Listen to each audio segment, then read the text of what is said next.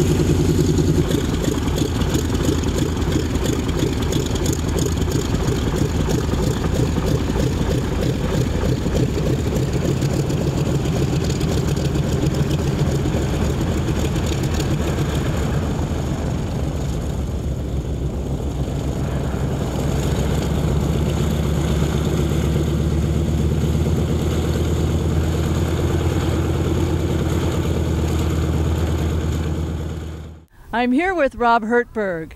Where'd you fly in from in this Zero? Betty, I just came in from Camarillo, the airport there in that city, uh, from the Commemorative Air Force Unit. So that's where the, the Zero is based? That's correct. Oh, wow. We have about um, 12 airplanes, different airplanes, uh, primarily World War II vintage, and this is one of them. Oh, wow. How did you get into flying the Zero? Can you tell us a little bit about your background? Uh, sure, I was able to uh, to fly uh, F-16s in the Air Force, so I built up a lot of time there. And uh, through the air show uh, business, I got um, to uh, befriend and get associated with the group at Camarillo. I also um, bought into a a T6 after I retired from the military, and I built up time in warbirds with radial engines and tail draggers. And one thing led to the next, and I went through the checkout program uh, extremely fortunate, and now here I am with this beauty behind me.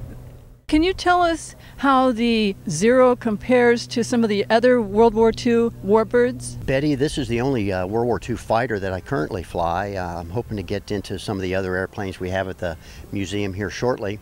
But what I understand, uh, as far as turning and climbing this airplane still from the beginning all the way through the end of the war was very tough for our aircraft to beat.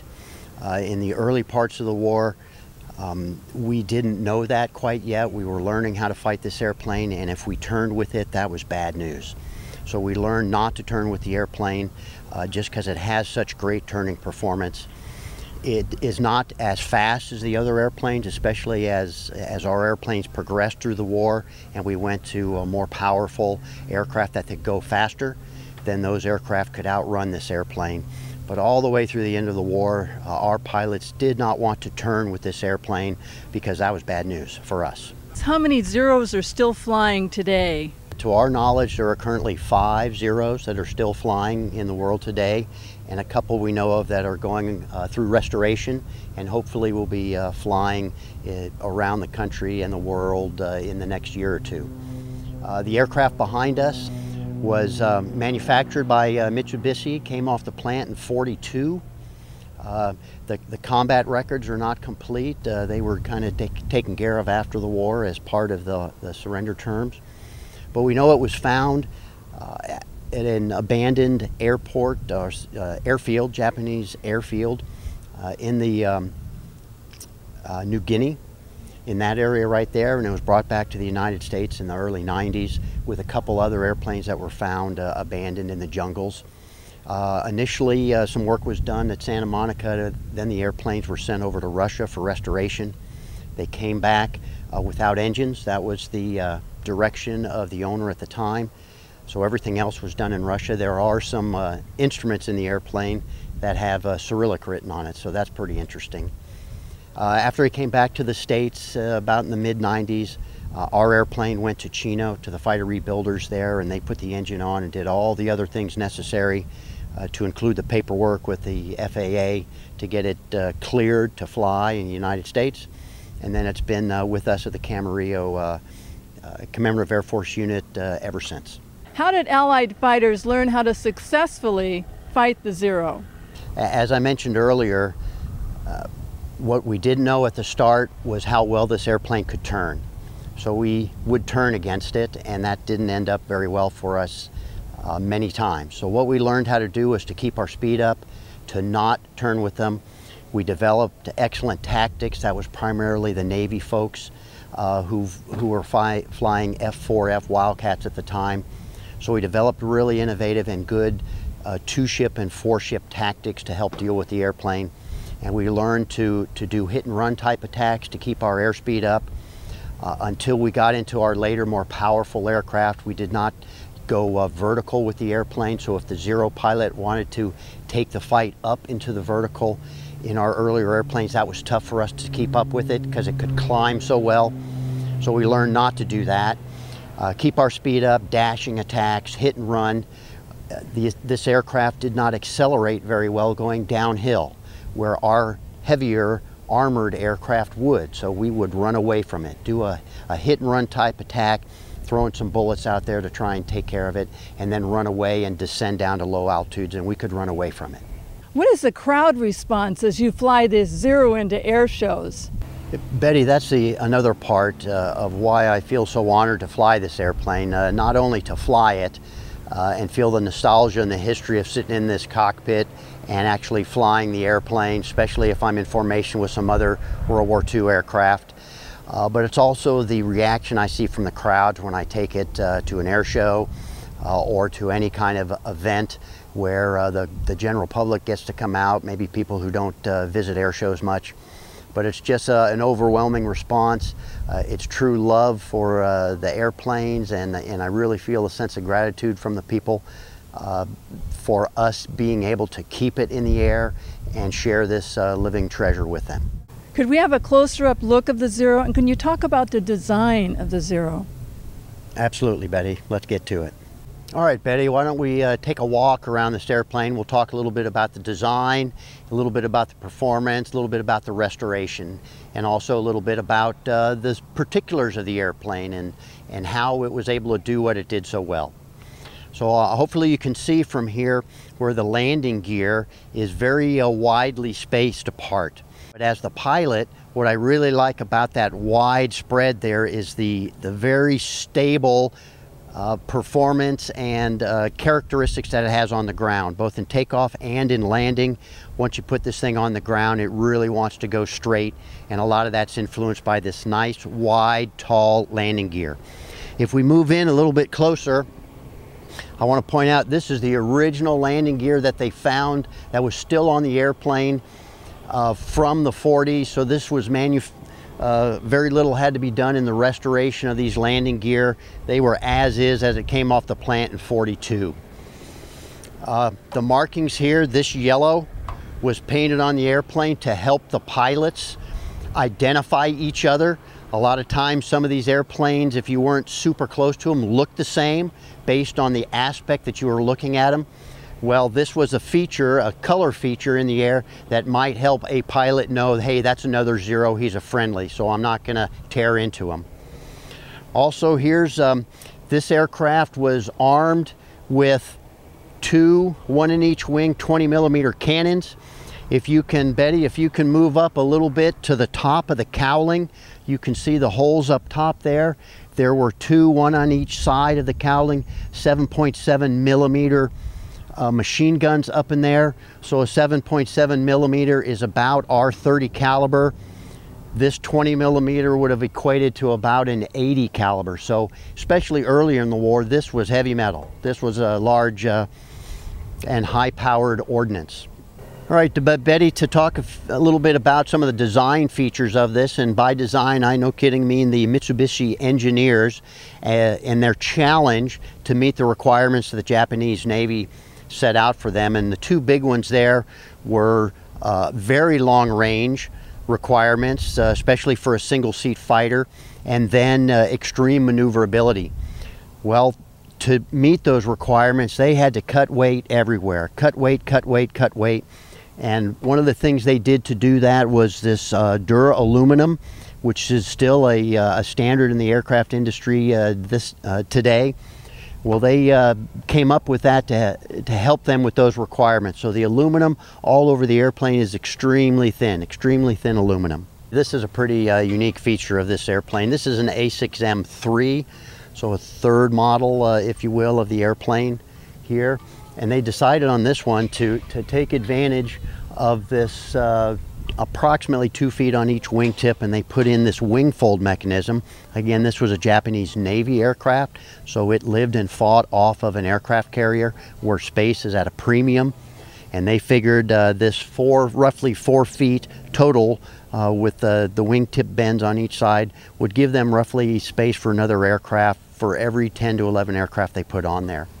They couldn't uh, break the wing, if you will, and fold it in any uh, closer, which would have given them more space because that would have added weight.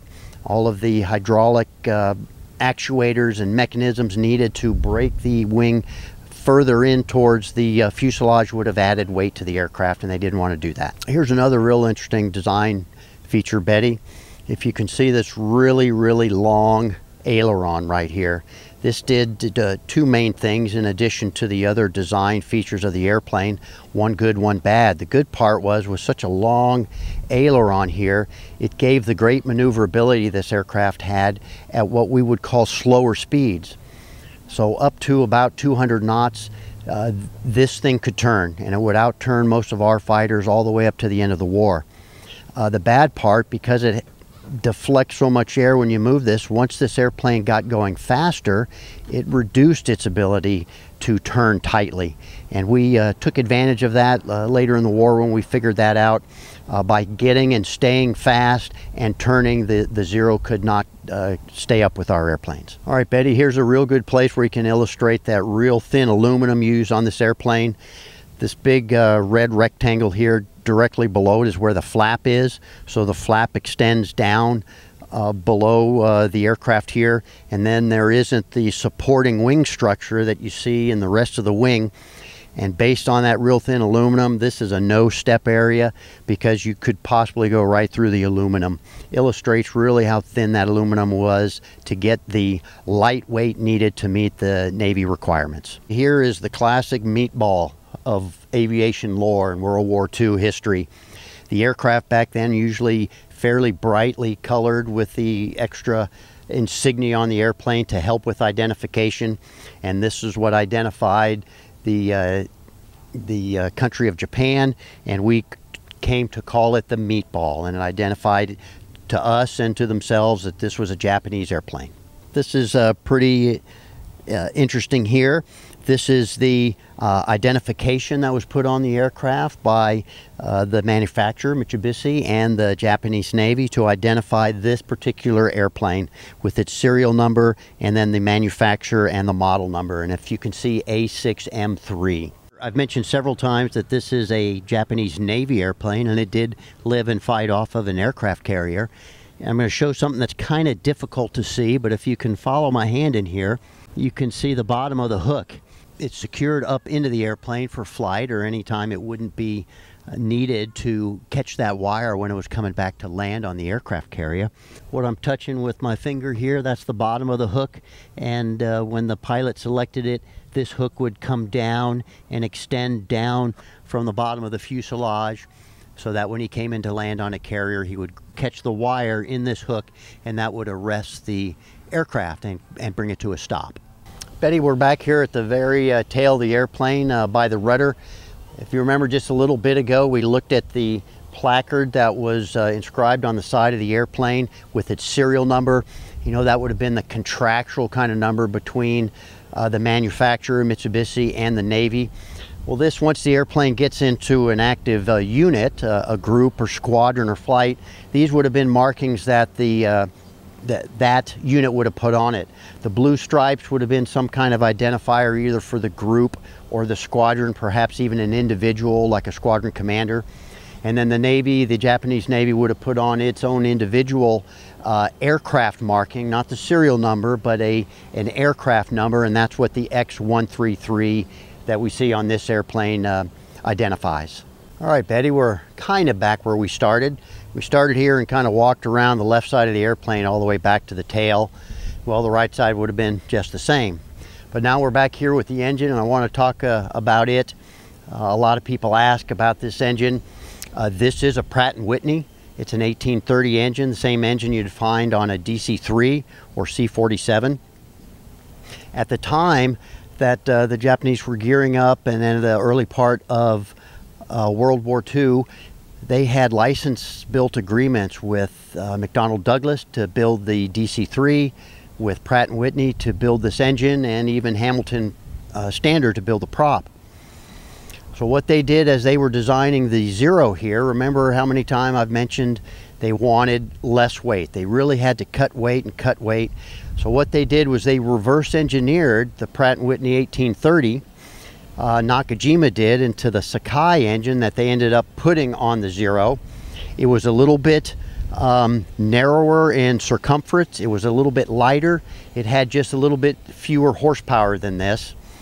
Uh, but that's um, that uh, is why when this aircraft was restored, the decision was made to put Pratt & Whitney's on it because they were so similar in size and performance and also because current day there's just a little more knowledge, spare parts, uh, being able to maintain a Pratt than a Nakajima engine. All right, uh, Betty, we're up on top of the wing here and I'd like to show you inside the cockpit of this beauty. Well, first we'll kind of start right here. Obviously the stick that makes this thing go. Uh, on it, this is an a restoration edition. That's for smoke oil. Looks good at air shows. And this is uh, hydraulic. So uh, we push that button right there and that energizes the uh, hydraulic system. It's an electrical hydraulic pump for gear and flaps. Um, starting back here, this is real interesting, I think, and uh, we use terms like ergonomics and human factors in the design of our airplanes today. Well, this is the flap switch and it'll be hard for you to see, but that's the tip, so that black, that's the landing gear handle, and this is the flap switch, okay? So that um, actuates the flaps. As you notice, they're on the right side of the cockpit. So on takeoff, the pilot has to take his right hand off the control stick, fly with the left hand to get his right hand down off uh, just outside his right leg and actuate the gear and or flap handles. So that's not the uh, ergonomically best setup, but that's the way they made it. Uh, we talked about uh, the restoration of this aircraft, came out of the jungles, uh, initially started here in Santa Monica, but then sent over to Russia for restoration. Well, back in the early part of the war, the Japanese didn't have radios in their airplane. They were using Morse code. But you can see the Russian uh, language, I think that's Cyrillic right there on this Morse code uh, piece of equipment right here. This would have been radios up here. We also talked earlier, remember there were 20 millimeter cannons in the wing and 7.7 mil millimeter uh, machine guns mounted on top of the engine that fired through uh, synchronized uh, spinning of the propeller. Well, the breech of that those machine guns extends all the way back here into the cockpit. You can even see the cocking lever where the pilot had to manually cock his machine guns before he, we, he was to fire them. Uh, over here, these instruments are primarily your engine instruments. Betty, if you can zoom in, as an example, you can still see the original Japanese marking uh, on the instrument panel for these instruments. And in many cases, like right here, we've had to paint on there in English what uh, the instrument means. So fuel pressure, oil pressure, oil temp, because, and we're proud of this, the original markings are still the Japanese ones. Uh, right up here, this is uh, a few of these instruments have uh, been updated to modern standards uh, just because for accuracy and flying around in our uh, airspace system. But obviously we needed to put in some modern radios just to communicate and be safe. All right, over on the left side, more performance indicators. So here's your airspeed and your altitude, and then getting this thing started. Here's the left-hand machine gun as it extends with the, the cocking lever right there. So now we're on the left side of the front console up against the fuselage, the throttle quadrant here, propeller mixture. Uh, this is real interesting. Here, this little switch right here is what I talked about earlier. It doesn't really work too well right now, but had the pilot thumbed that forward this direction, he would have selected his 7.7 millimeter machine guns on top of the nose. If he thumbed it backwards that way, then he would have selected both the nose machine guns and those wing mounted 20 millimeter cannons. And so again, this is the throttle here and this lever. Uh, today, this is what I use. I pinch this backwards. That's what I use to activate the radio and communicate on the radio. Uh, back in World War II, this was the, the gun trigger.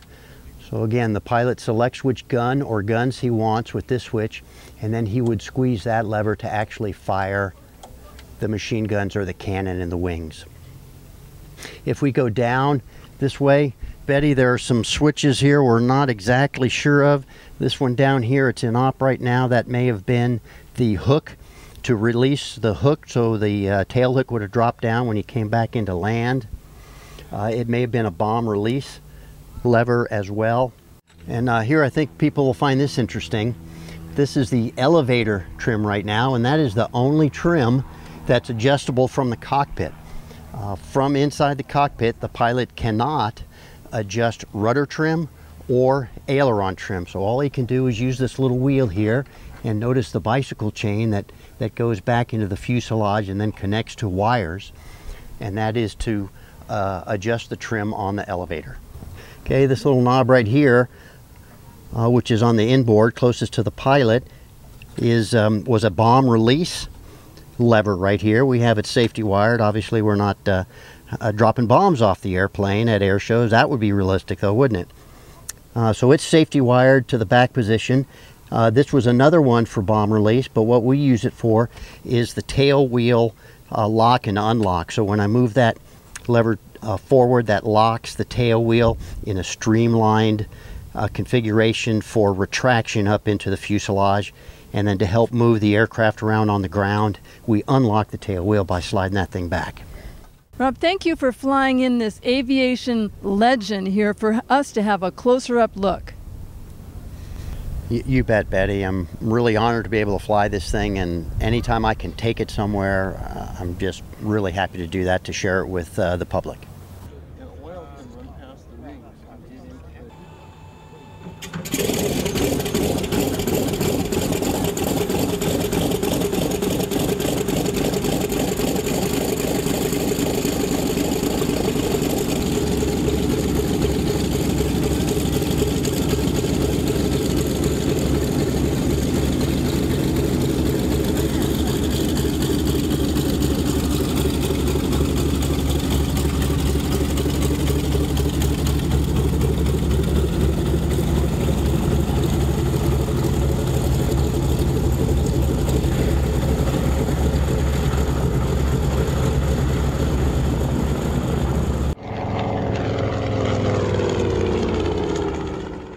Thank you for watching Peninsula Seniors Out and About here at the Western Museum of Flight in Torrance. I'm Betty Wheaton. I'll see you next time.